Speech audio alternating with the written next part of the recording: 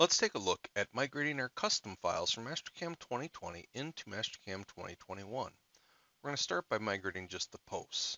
I'm going to go to the File tab, Convert, Migration Wizard. I'm going to choose Advanced. And first, I'm just going to select the shared files. The path should already be correct if you have Mastercam 2020 installed. File types, I'm going to click on File Types to deselect everything and I'm just going to choose control defs, machine defs, and post files. This will migrate our posts. I can choose next. I'm going to choose just to migrate the 2020 posts.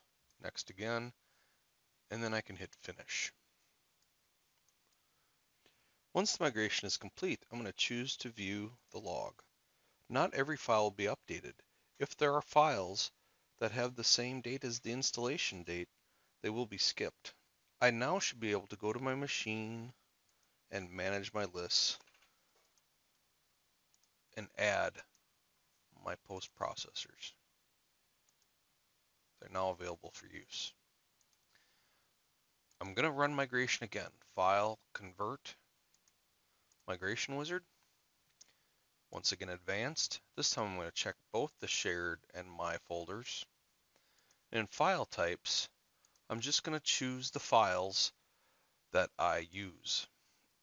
If you're curious what files are included, if you click on the file type, for instance, default files, at the bottom it gives you a brief description of what type of files you'll be updating. Most common are default files, tool libraries,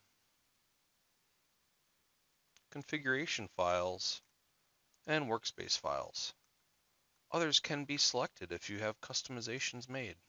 I'm going to choose next, set it to just the 2020 files, and then I can finish. If any of the files already exist in Mastercam 2021, I'll get a message telling me that this file already exists and I have a few options I can choose. I'm going to choose to apply this action to all following conflicts and I'm going to choose to update and replace. View my log. I don't see any errors. Mastercam should now be ready to use.